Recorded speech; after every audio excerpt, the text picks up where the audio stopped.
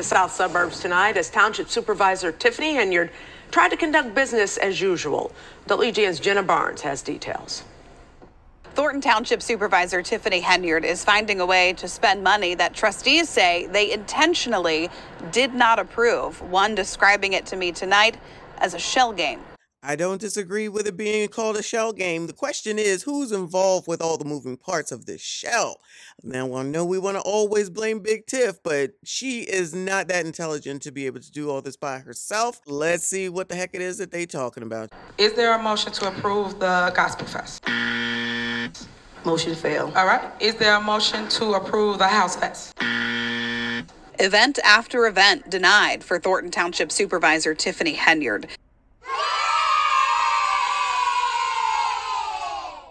Under an ordinance designed to rein in spending. Them residents love the events that we do here at Thornton Township. And prior to me, y'all have always had events. So I don't understand why it's a problem now that Tiffany Henyard is the supervisor. The trustees say they won't greenlight the events because there's no approved budget yet. Can't continue to spend money without that in place. Now, all of a sudden, he want to talk about not having that in place. You said at the last meeting, Chris, that you would let her know, you know, that was cute then, but now a whole another month later, after three to four months, now you still don't have a budget. I know that people will act like that's not a big deal. It is a big deal. If you don't know what you're working with, then how the hell do you know what you're spending? And that puts the whole town in jeopardy. So him and the rest of the trustees should have been got this daggone budget looked at, verified, and executed, put out there, whatever it is, after three to four months? Who is in charge around here? All of these daggone government entities that don't know what they're spending, that don't know where the money resides, that don't know what to do as far as spending and cutting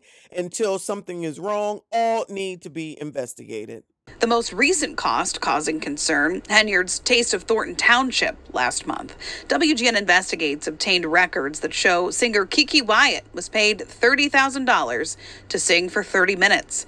Rapper Jay Holiday made $20,000 for a half hour set. When you factor in staff, equipment, and other expenses, the total cost is at least $85,000, which is lower than WGN Investigates initially reported. We're going to go ahead and give them credit for admitting their mistake because we most definitely was asking, child, where the rest of that $35,000 difference come from?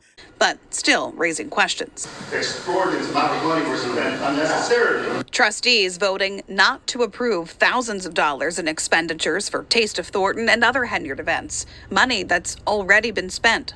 A lot of that spending was done on credit cards. We just don't agree with so much being put on credit cards. And then also, we recently it looks like even stuff that we voted not to pay then was put onto credit cards. So it's just kind of almost like a shell game.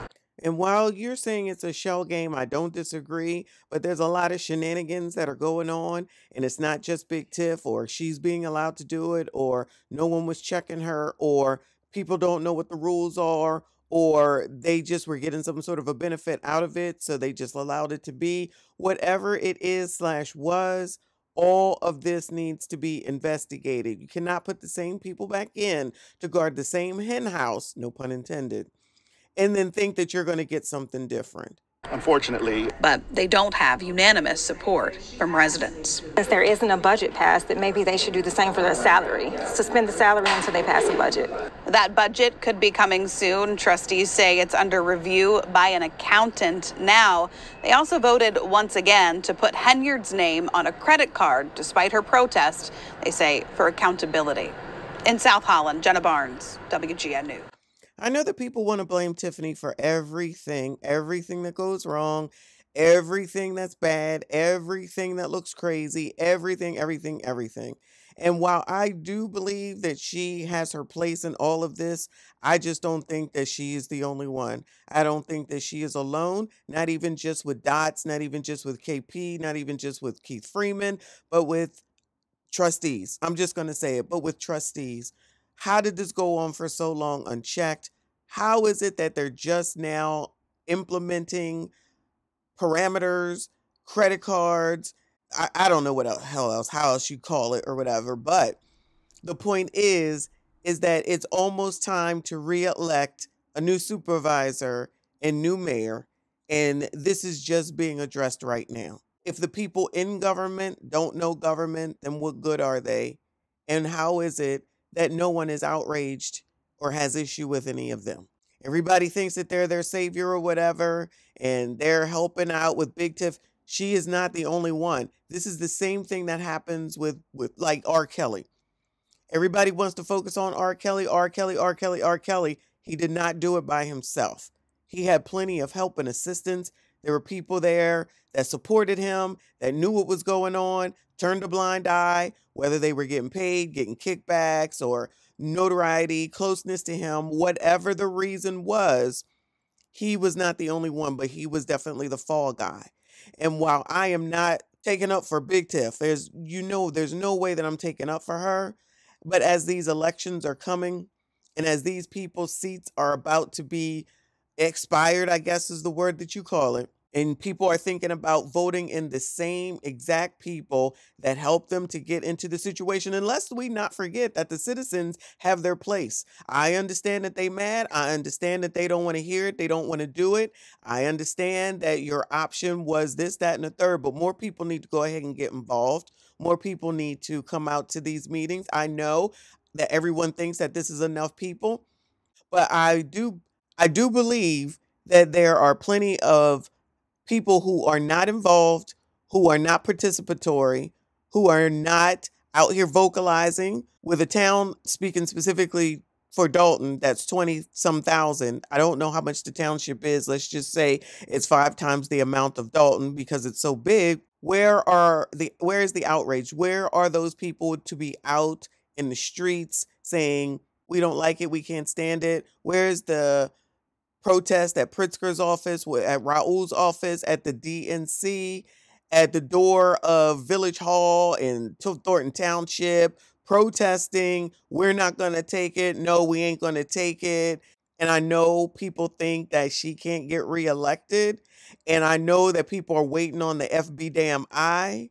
But know that your elected officials in the whole daggone state of Illinois, and not just Illinois, but that's what we're talking about right now, are complicit with this as well, in my opinion, allegedly, with not saying anything, not doing anything, not even coming down to your daggone town to talk to you, to hold a meeting about it, to even hear public comment from you, to even assess the situation, to even come down there and say, no, we're going to meet. They don't even come down here to say, Big Tiff, stop these shenanigans with not allowing people to come in for meetings, trying to disrupt things, um, trying to have meetings upstairs where you know damn well it's not enough room, get a bigger place, go to a rec room, anything. Nothing. Nothing. Nothing. That speaks volumes. Saying nothing is speaking whether people want to believe it or not. Now, I know that what's going on in this small section of the whole state of Illinois might not be a big deal to everyone else, but to all those everyone else's, specifically the ones in Shaddam Chicago, who are whining, complaining, mad, and I don't even know if they're protesting anymore about migrants, that situation, the money they're giving, and now there's a billion dollar. I don't know. I don't know. But all these all these things that are in these people's faces, all this alleged corruption, and and it just doesn't seem like that there is enough people out here to say we're done with this. It's time for something different. I mean if after that tax situation with the amount of the property taxes doesn't do it i don't know what will. But y'all what do i know? I'm just a, a youtuber that plays a lawyer sometimes on youtube child. Call me auntie ruckus. Y'all let me know what you think. As usual please make sure you hit the like button subscribe if you are new I'll see you all in the next one. Cause y'all got false narratives out there, and y'all should be ashamed of yourself. Y'all black. Y'all are black.